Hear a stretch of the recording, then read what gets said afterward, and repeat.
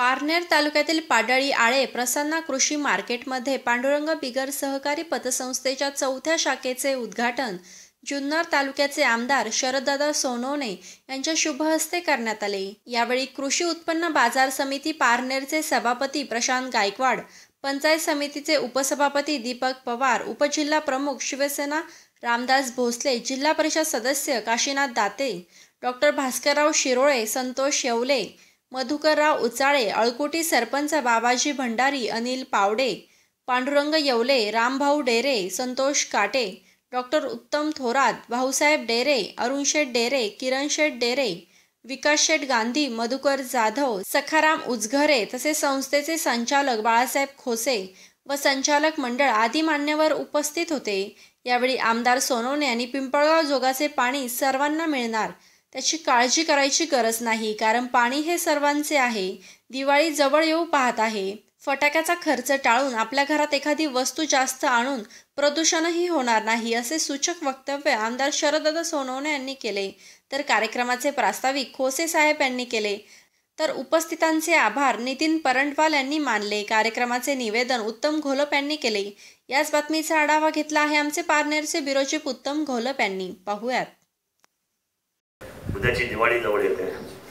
या दिपोळीच्या निमित्ताने आपल्या सर्वांना मनापासूनच्या शुभेच्छा व्यक्त करतो. पण ती दिवाळी केवळ सुखाची समृद्धीची आनंदाची आणि भरभटीची म्हणजे दिवाळी नाही तर ही दिवाळी सुरक्षितेची जावी कारण आता मी पाहतो की दिवाळीमध्ये महिला मंडळी कधी कधी हे दिवाळीचे पदार्थ करण्यामध्ये सात आठ आयटम व्हायला पाहिजे मग दोन चिवड्या व्हायला पाहिजे दोन तीन प्रकारचे लाडू व्हायला पाहिजेत करंज्या व्हायला पाहिजे शंकरपळ्या व्हायला पाहिजे अनारसे व्हायला पाहिजेत. मग या सगळ्या गडबडीमध्ये गॅस असेल उकळतं तेल असेल कढई असेल गरम गरम त्याच्यानंतर तुम्हाला मी सांगतो की शेगडी असेल चूल असेल या सगळ्या बाबतीमध्ये महिला कधी कधी असुरक्षिततेने काम करतात घाईने काम करतात गोधळून जातात की मला हे भाऊबीजेचे आतमध्ये पदार्थ करायचे फराळ करायचे पण ते काय घाई करू नका. मी होतं दोन पदार्थ कमी झाले काय बिघडले?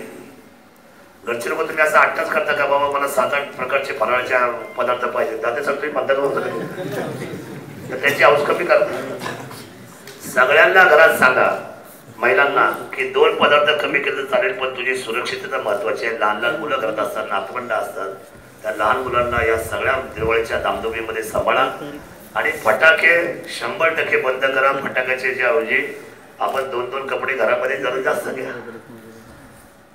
आपला कपड्याचा व्यवसाय? आहे भंडारे क्लास कोणाचा आणि माझ्या वाचनामध्ये लालकोटीला भंडारे क्लास फटाक्याचा खर्च हा वायफळ आहे.